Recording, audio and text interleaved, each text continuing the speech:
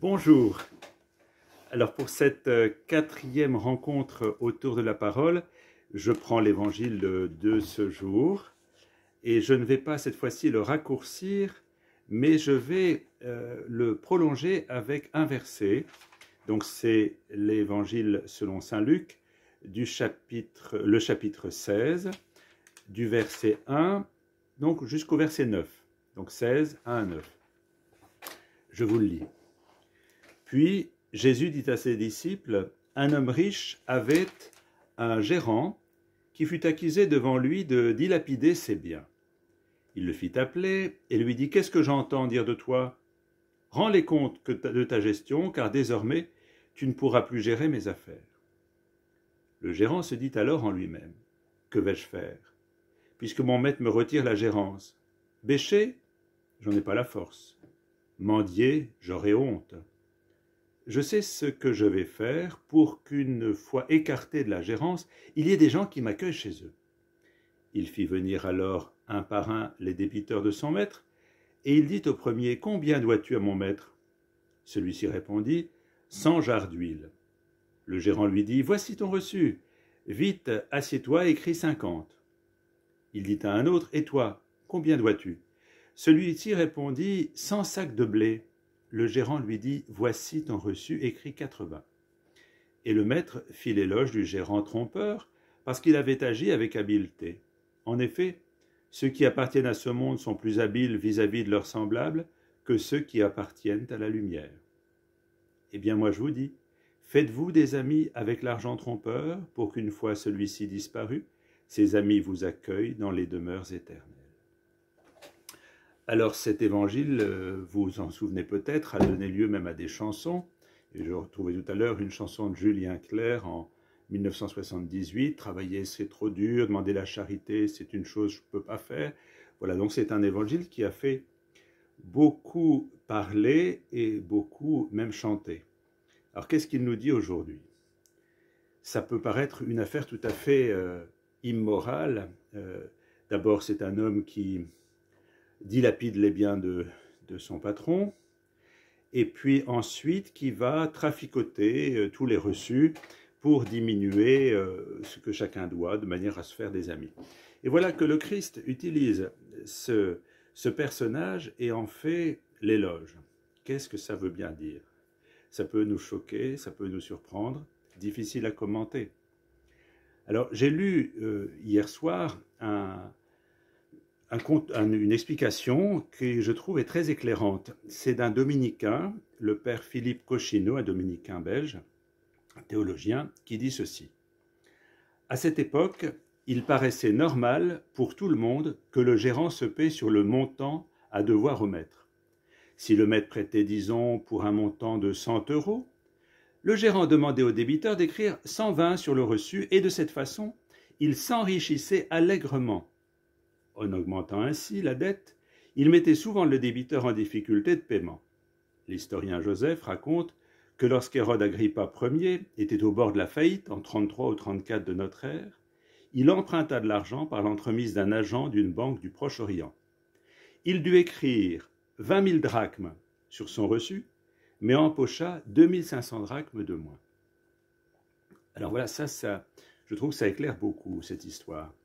Parce que cet homme qui à la fois prenait dans les affaires de son maître et aussi dans les débiteurs qu'il devait rencontrer, il, inscrivait des sommes bien au-dessus pour empocher de l'argent qu'il ne donnait pas à son maître. Donc il s'enrichissait des deux côtés, du côté de son maître et du côté des débiteurs de son maître. Au moment où tout s'effondre pour lui, puisqu'il va perdre son travail et son salaire, il se dit mais qu'est-ce que je vais faire? Alors il a cette idée géniale de se dire je vais me faire des amis. Et comment? Eh bien je ne vais pas empocher la part que je retirais pour moi-même de la part des débiteurs, je vais juste faire écrire ce qu'ils doivent au maître. Donc ils devront payer moins, ils seront contents avec moi et ça fera des amis. Alors évidemment, c'est une motivation très intéressée. Jusque-là, il avait tiré son profit de tout cela. Tout d'un coup, il se dit, attention, je vais me retrouver tout seul, il faut que j'ai des amis. Jusque-là, il avait bâti sa vie, sa sécurité sur de l'argent mal acquis. Et il se dit maintenant que je n'ai plus cette ressource, comment vais-je vivre? Et se dit finalement, avoir des amis, c'est pas si mal. Alors comment euh, interpréter ça pour nous, chrétiens, à partir de l'Évangile? Ça veut dire qu'il faut changer notre lieu de sécurité. Si nous croyons que la sécurité, c'est d'avoir toujours plus, des, des, greniers, des greniers, comme on dit dans l'Évangile, où on va entasser de l'argent, des choses qui vont nous sécuriser, finalement, si tout s'effondre, il ne reste rien. Nous sommes seuls, seuls. Alors l'Évangile nous dit, la vraie sécurité, elle est double. La vraie sécurité, c'est de se remettre entre les mains du Père, de Dieu, qui nous aime, qui veille sur nous, qui ne veut pas qu'un seul de cheveux que nous ayons soit perdu. Et c'est de se remettre aussi dans la vie fraternelle, dans une communauté, où l'on donne de soi et on reçoit aussi des autres de l'amour, du partage, de la fraternité. Et ça, c'est un ferment de vie nouvelle pour nous et pour le monde. Si nous tablons sur l'argent comme euh, si c'était notre Dieu, nous risquons de nous retrouver absolument vides de tout, vides de vie intérieure, vides de vie euh, avec Dieu, vides de vie avec les autres. Nous sommes comme isolés dans une fausse sécurité. Si nous acceptons de rentrer dans une dimension de partage, de construction avec les autres, d'amitié, de fraternité, de mise en commun de tout ce que nous avons comme richesse intérieure et extérieure, alors s'établit un monde nouveau et nous devenons comme des ferments d'un monde nouveau.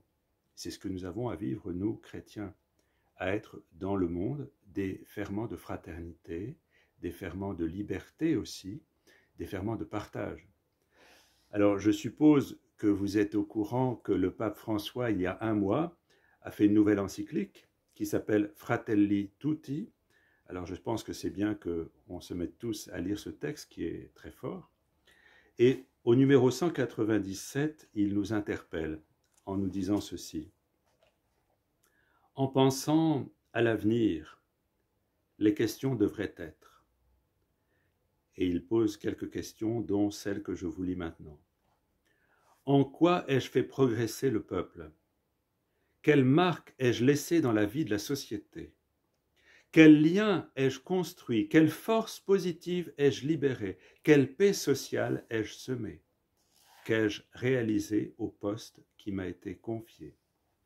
Évidemment, nous n'avons pas tous les mêmes responsabilités dans la société, mais là où nous sommes, dans la situation où nous sommes, nous pouvons poser des jalons tels que dans nos moyens, dans notre quotidien, dans notre vie de quartier, dans notre vie de travail, dans notre vie familiale, où on ne va pas mettre euh, l'égoïsme au premier plan, mais le désir de vivre ouvert aux autres et de partager un peu plus. Bien que le Seigneur aujourd'hui nous éclaire, nous invite à réfléchir à ce que nous faisons de nos biens matériels et spirituels et de la manière dont nous exerçons un véritable partage. Bonne journée, bonne méditation et à demain.